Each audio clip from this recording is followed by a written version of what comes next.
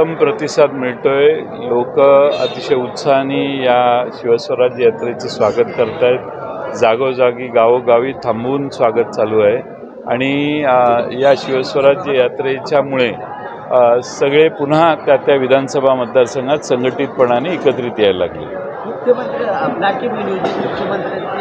काही अडचणी आल्या डायरेक्ट पालकमंत्र्यांची मंजुरी घेऊन अ, शासन निर्णय जारी करण्यात आलेला आहे. काय सांगायचं काय केलंय?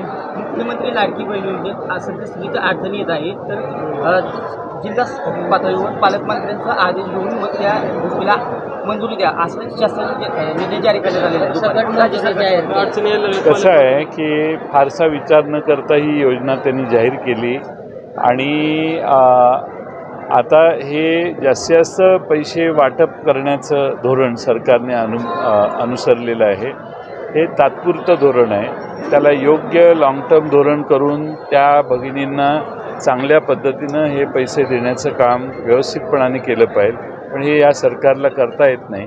त्यामुळे प्रत्येक वेळेला ते वेगवेगळे अटी शर्ती कमी जास्त करण्याचं काम करत आहेत आता ते काहीच होत नाही म्हटल्यावर मग जिल्हा स्तरावर हे अधिकार देण्याचं काम त्यांनी केलेलं आहे. आता शेवटी याच्यातून निवडणुकीपर्यंतच पैसे वाटायचे आहेत अशी मानसिकता यांची आहे. आम नवी सरकार येईल त्यावेळी आम्हाला ह्या योजनेला अधिक चांगलं स्वरूप द्यायला लागेल ती आम्हाला माहिती आहे. राज्यात महाविकास आघाडीचे एकशे पंच्याऐंशी आमदार येतील परंतु राज्यात सर्वात मोठा पक्ष हा काँग्रेसच असेल आणि लगेच विधानसभेच्या निवडणुका देखील स्थानिक स्वराज्य संस्थेच्या निवडणुका देखील घेतल्या जातात. ठीक आहे तर ते आमच्या महाविकास आघाडीचे घटक पक्ष आहेत. त्यांनी तसं बोलणं स्वाभाविक आहे. तो त्यांचा अधिकारी आहे. मी त्याबद्दल काही बोलत नाही. कोल्हापूरमध्ये मंत्री हसन मुश्रीफ यांनी एक वादग्रस्त वक्तव्य केलंय. त्यांनी असं म्हटलंय की विधानसभेला महायुतीच्या उमेदवाराच्या बटनासोबत बटन हे कचा कचा दाबा. आणि जर तुम्ही ते बटन दाबलं तर आम्ही जेवण सुद्धा तुमच्या घरी बनवायला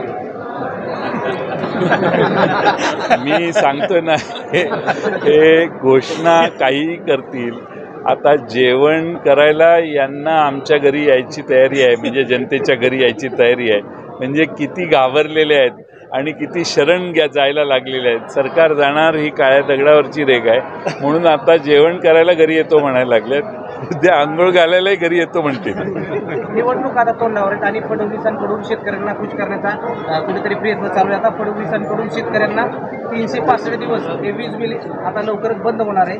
त्याच्यासोबत कापूस कापूस असेल किंवा इतर काय असेल त्याचा बाजारभाव त्यांच्याकडून आता शेतकऱ्यांच्या खात्यावरती ते बाजारभावाचे पैसे तात्काळ जमा केले जातात. ज्या गोष्टी तात्पुरत्या करायच्या त्या सगळ्या गोष्टी ते करतील आणि शेतकऱ्यांची मतं मिळवण्याचा प्रयत्न करतील. पण जो बुनसे गई वो हौद से आती नाही यांना आता शेतकऱ्यांनी पक्क महाराष्ट्रातल्या ओळखलेलं आहे. ही सगळी खोटी आश्वासनं दोन महिन्यासाठी देत आहेत आणि त्यामुळं यांच्यावर लोकांचाच मुळात विश्वास नाही आहे गुलाबी रंगाची थीम घेऊन आता जनसन्मान योजना सुरू आहे. कसं बघता? काय वाटतं मी तिकडे बघत नाही आहे साहेब मराठा आंदोलना संदर्भात आज पवार साहेबांना देखील काळजी दाखवलेली आहे. अ, काय सांगाल? असं आहे की सरकारमध्ये बसलेल्या लोकांनी निर्णय घेणं आवश्यक आहे आणि सरकारने ते निर्णय लवकर घ्यावेत. सरकारने दोन्ही बाजूंशी चर्चा केलेली आहे. सरकारने जरंगे पाटलांना काही आश्वासनं दिलेली आहेत. जरांगे पाटलांना बोलवून नव्या मुंबईमध्ये त्यांना मुख्यमंत्री स्वतः जाऊन भेटलेले आहेत. त्यांचं काय ठरलं काय चर्चा केल्या त्याप्रमाणे सरकारने निर्णय घ्यावेत हे जनतेला अपेक्षित आहे. आणि त्यामुळं आम्ही नुसती मिटिंग बोलवून त्याच्यातनं काही निष्कर्ष निघत नाही. आता सरकारने ओबीसी समाजातल्या प्रमुखांशी बोलणं केलं आहे मराठा समाजाशी बोलणं केलं आहे आता सरकारने त्याच्यावर निर्णय घ्यावेत एवढी महाराष्ट्राची अपेक्षा आहे. उद्धव ठाकरेंच्या गाडीवर हा भ्याड हल्ला झाला. जितेंद्र आव्हाडांच्या गाडीवर काही दिवसापूर्वी झाला. उद्धव ठाकरेंच्या गाडीवर हल्ला करणं याचा आम्ही निषेध करतो. असा भ्याड हल्ला करून महाराष्ट्रात राजकीय नेत्यांना महाराष्ट्रात फिरण्यासाठी दहशत निर्माण करण्याचा हा प्रयत्न सरकारी पक्षाचा आहे का? कारण लोकांनी माहिती दिलेली होती पोलिसांना की असा हल्ला होण्याची शक्यता आहे. तरी देखील म्हणजे उद्धव ठाकरेंच्यावर ठाण्यात झालेला हल्ला असो किंवा आज शरद पवार साहेबांच्या सभेत झालेला गोंधळ असो त्याच्याविषयी देखील माहिती व्हॉट्सअपवर एकाने पोलिसांना दिलेली होती. देखील तरी देखील पोलिसांनी आवश्यक ती काळजी घेतली नाही. याचा अर्थ पोलीस या सगळ्या दहशत निर्माण करण्याच्या स- काही गुंडांच्या प्रवृत्तीला प्रोत्साहन देत आहेत.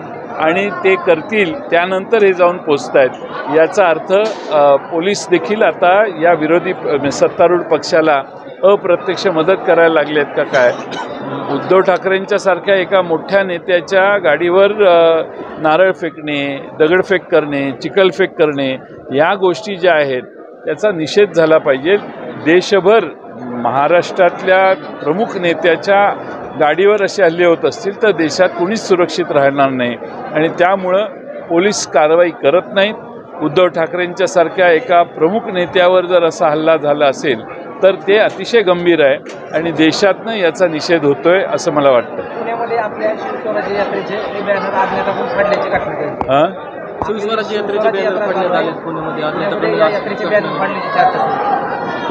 असं आहे की शिवस्वराज्य यात्रेचा फार लोकांना त्रास होतो शिवस्वराज्य यात्रेचं यश कदाचित काही लोकांना राग आलेला आहे. त्यामुळं काही हस्तकांच्या करवी असे बॅनर फाडाफाडीचे काम होतील. ठीक आहे. पण महाराष्ट्रातल्या जनतेपर्यंत पोचण्याचं काम आम्ही अव्याहत करूनाने करू शेवटपर्यंत करू. सर हे सातत्यानं महाराष्ट्रामध्ये होऊ लागल्याच्या घटना याच्या आधी कधीच घडत नव्हत्या. याची नेमकी कारणं काय असेल असं महाराष्ट्रामध्ये अशा घटना कधीच घडत नव्हत्या. प्रत्येकाला बोलण्याचं स्वातंत्र्य राहिलं पाहिजे. पण सत्तेत बसणाऱ्यांना जे अडचणीचं वाटतं त्यांनी बोलू नये दौरे करू नयेत सरकारविरोधी बोलू नये असे या लोकांना वाटतं. म्हणून काही लोकांना हाताशी धरून वेगवेगळी कारणं सांगून हल्ले करणे दगडफेक करणे अशा आता भ्याड गोष्टी महाराष्ट्रात या सरकारने सुरू केल्यात. महाराष्ट्रातली जनता याला समर्पक उत्तर देईल.